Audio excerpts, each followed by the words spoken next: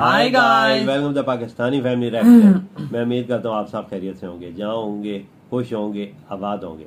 अगर आपने हमारे चैनल को सब्सक्राइब नहीं किया तो लाजमी सब्सक्राइब करें ताकि हमारी आने वाली वीडियो आप तक आसानी से पहुँचती रहे। और आप खुशी से देखते रहें बिल्कुल और साथ बेल आइकन को लाजमी प्रेस कर लीजिएगा। इसके लिए क्योंकि आपको ऐसे नोटिफिकेशन नहीं मिलेगा। तो ये बहुत ज़्यादा ज़रूरी चीज़ है। सब्सक्राइब के साथ साथ लाजमी बेल आइकन को प्रेस कर लीजिएगा। इंस्टाग्राम पर भी फॉलो कर सकते हो। वहाँ पर बात करनी हो कर सकते हैं। इन्फॉर्मेशन देनी हो दे सकते हैं। या तो किसी वीडियो का लिंक भी भेजना हो तो आप लोग भेज सकते हैं। इंस्टाग्राम का लिंक मिलेगा डिस्क्रिप्शन सेक्शन में। तो मेरा नाम वजह यार ईमेल के थ्रू भी आप लोग कॉन्टेक्ट कर सकते हैं। ये वीडियो भी हमने ईमेल के थ्रू ही पिक किया है तो आप लोग भी भेज सकते हो वहाँ से इजी रहता है वीडियोस पिक करना। तो यार आम, अब मतलब मलेशिया वियतनाम के बाद फिलिपीन भी इंडिया से लेना चाहता है हथियार अच्छा। हाँ। देखते हैं वजह वीडियो वॉच करते हैं तभी पता चलेगा कि कौन से हथियार लेना चाहता है। इंडियन हथियार तो जहरी बात है दुनिया में काफ़ी ज़्यादा फ़ेमस दिन ब दिन होते जा रहे हैं। ब्रह्मूस भी ले लिया गया है अब फिलिपीन लिया है। बिल्कुल अब फिलिपीन भी भाई और डिमांडे कर रहा है इंडिया से। वॉच करते हैं फिलिपीन ने फिर क्या डिमांड की है इंडिया से भाई? क्या चीज़ हुई है क्या नहीं है? तो देखेंगे तो तभी पता लगेगा। तो यार ओरिजिनल वीडियो का लिंक आप लोगों को मिल जाएगा डिस्क्रिप्शन सेक्शन में। लाजमी कीजिएगा इनके चैनल को सब्सक्राइब जल्दी से वॉच करते हैं ये वीडियो तो कानन करते हैं थ्री वन एंड स्टार्ट ये है वो जगह जहाँ से मैं हर रोज आपसे मिलूँगा। आपने बिल्कुल सही पहचाना। मैं हूँ आज तक के स्टूडियो में।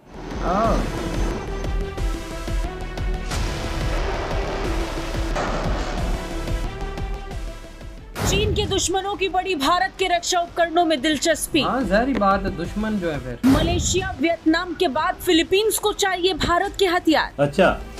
आत्मनिर्भर भारत पर निर्भर होते कई देश। मेड इन इंडिया हथियार और उपकरण खरीदेगा फिलीपींस। अच्छा। रक्षा क्षेत्र में भारत के हथियार और आधुनिक उपकरण धूम मचा रहे हैं। यही कारण है कि चीन के दुश्मनों के बीच भारतीय रक्षा हथियारों और उपकरणों की मांग बढ़ती जा रही है। मलेशिया हो वियतनाम हो या फिर ताइवान भारत से साथ की उम्मीद कई देशों को है। शायद यही कारण है कि ब्रह्मोस क्रूज मिसाइल की तीन बैटरी की खरीद के लिए साढ़े सैतीस करोड़ डॉलर के सौदे पर मोहर लगाने के कुछ महीने के बाद फिलीपींस अपनी सैन्य क्षमता को बढ़ाने के लिए भारत से उन्नत हल्के हेलीकॉप्टर्स खरीदने पर विचार कर रहा है अच्छा। दक्षिण चीन सागर में चीन के साथ दशकों से चल रहे क्षेत्र विवादों के साथ साथ अन्य समुद्री सुरक्षा चुनौतियों का सामना करने के लिए फिलीपींस अपनी सेना के आधुनिकीकरण पर ध्यान केंद्रित कर रहा है जानकारी के मुताबिक फिलीपींस ने अपने पुराने हेलीकॉप्टर बेड़े को बदलने के लिए कई उन्नत हल्के हेलीकॉप्टर्स की खरीद में दिलचस्पी दिखाई अच्छा। है इतना ही नहीं दोनों पक्ष प्रस्तावित सौदे पर बातचीत भी कर रहे हैं। स्वदेशी रूप से विकसित नई पीढ़ी का ए एल एच हेलीकॉप्टर साढ़े पाँच टन भार वर्ग में दो इंजन वाला बहुउद्देश्य हेलीकॉप्टर है। अच्छा। और इसे विभिन्न सैन्य अभियानों के लिए उपयुक्त माना जाता है। जानकारी के मुताबिक फिलीपींस स्वदेशी रूप से विकसित भारत के हल्के लड़ाकू विमान तेजस के प्रदर्शन से प्रभावित हुआ है और इसे खरीदने पर विचार कर सकता है, क्योंकि फिलीपींस अपने लड़ाकू विमानों के बेड़े को बदलना चाहता है। बता दें, फिलीपींस दक्षिण पूर्व एशियाई क्षेत्र में भारत का एक प्रमुख रणनीतिक साझेदार है और पिछले कई सालों में द्विपक्षीय रक्षा और सुरक्षा संबंधों के लिहाज से दोनों के बीच मजबूती आई है, खासकर समुद्री क्षेत्र में। इससे पहले इस तरह की दिलचस्पी मलेशिया में भी देखने को मिली थी जो मेड इन इंडिया लड़ाकू विमान तेजस खरीदना चाहता था अच्छा। इससे पहले फिलीपींस ने जनवरी में ब्रह्मोस क्रूज मिसाइल की तीन बैटरी को लेकर एक सौदा किया था भारत ने मार्च में फिलीपींस के साथ एक रूपरेखा समझौते पर हस्ताक्षर किए जिसमें रक्षा हार्डवेयर और उपकरणों की आपूर्ति के लिए अच्छा। सरकार से सरकार के बीच सौदे शामिल हैं। तेजस विमान पहले ही मलेशिया के लिए शीर्ष पसंद के रूप में उभरा है क्योंकि देश अपने पुराने लड़ाकू विमानों के बेड़े को बदलना चाह रहा था चीन के जे सत्रह जेट दक्षिण कोरिया के एफ़ ए पचास और रूस के मिग पैंतीस के साथ साथ याक एक सौ तीस ऐसी कड़ी प्रतिस्पर्धा के बावजूद मलेशिया ने भारतीय विमानों में दिलचस्पी दिखाई जो काफ़ी अहम है। ब्यूरो रिपोर्ट भारत तक।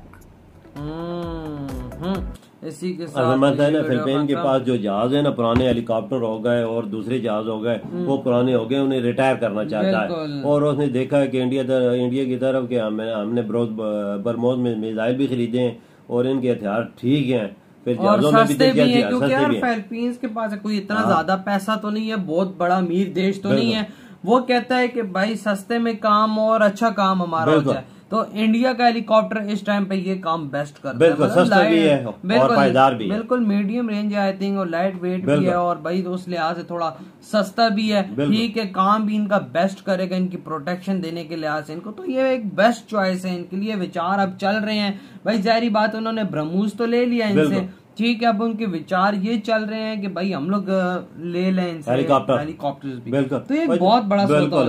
अगर आप बाहर मुल्क से फिलिपीन खरीदता है ना समझ लो एक हेलीकॉप्टर तो इंडिया दो इंडिया के इंडिया में दो मिल जाएँगे। हाँ ये बात है दो तीन इंडिया में हाँ, मिल जाएँगे क्योंकि वो बहुत महँगे हाँ, अमेरिका हो गया रशिया बहुत फ्रांस मतलब ये बहुत ज़्यादा यूके हाँ, बहुत ज़्यादा महँगे देते हैं और फिर गरीब देश है। हाँ ना मतलब सही है इतना भी नहीं है। गरीब के बहुत ही ज़्यादा लेकिन उसका क्या कहते हैं? चाइना चाइना उसका दुश्मन है चाइना भाई उसके साथ सीमा विवाद उसका चलता रहता है। तो उससे बचने के लिए फिर भाई वियतनाम को एक ही देश इस दुनिया में नज़र आ रहा है इंडिया अपने लिए हाँ वियतनाम हो गया मलेशिया हो गया और ये फिलिपीन हो गया। ये हाँ। चाइना के साथ इनकी आपस में बनती नहीं है ना। हाँ। ये इनके साथ समुद्र में तनाजे शनाजे पैदा होते रहते हैं लड़ाइयाँ झगड़े और वो क्या कहते हैं चाइना इधर इनके अंदर घुस के भाई इनको तंग करता तंग करता रहता है ये चीज़ है। फिर हम्म। वो देखते हैं इंडिया की तरफ़ ही कि इंडिया ही हमारा दोस्त है यही काम मुश्किल टाइम पे आएगा। हथियार हेलीकॉप्टर तेजस में भी दिलचस्पी दिखा रहे हैं। हाँ। क्योंकि यार एक बात टू बी ऑनेस्ट बताऊँ तेजस एम के वन भी काफ़ी ज़्यादा तैयार है लेकिन एम के टू आता गया ना हाँ। वो धूम मचा देगा। ये बात है। एम का बहुत ज़बरदस्त है उसमें फीचर और टेक्नोलॉजी इस्तेमाल है वो यूरोप की तरह इस्तेमाल बिल्कुल जो तेजस का एम के टू है और फिर एक एम का तो वो इंडिया का तैयार हो रहा है वो इंडिया किसी को नहीं बेचेगा क्योंकि वो इंडिया का वो फिफ्थ जनरेशन फाइटर जेट होगा लेटेस्ट टेक्नोलॉजी होगी। तो इंडिया नहीं चाहेगा कि कोई मैं मतलब जाहरी बात है ये किसी किसी देश के पास टेक्नोलॉजी आ रही है। लेकिन ये है कि भाई एक बहुत ही बड़ी इंडिया के डिफेंस एक्सपोर्ट्स के अंदर ये उड़ान है। कि आज एक और फिर न्यूज़ आ गई है कि अब फिलिपीन इंडिया से हेलीकॉप्टर खरीदना चाहता है। वजह ये होता है ना फिर इंडिया जो बनाता है सस्ती चीज़ और पायदार चीज़ मेक इन इंडिया सस्ती।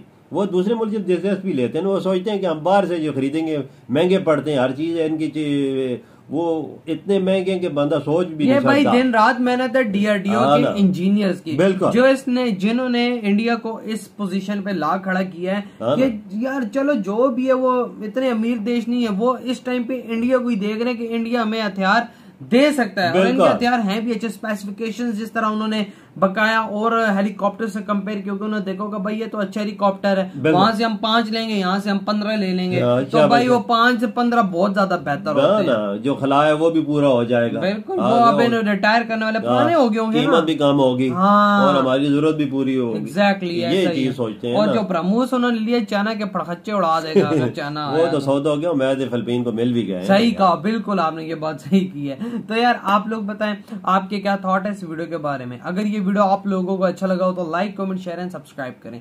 इधर वीडियो खत्म करते हैं। अपना बहुत ही ज़्यादा ख्याल रखिएगा। तो, तो बाय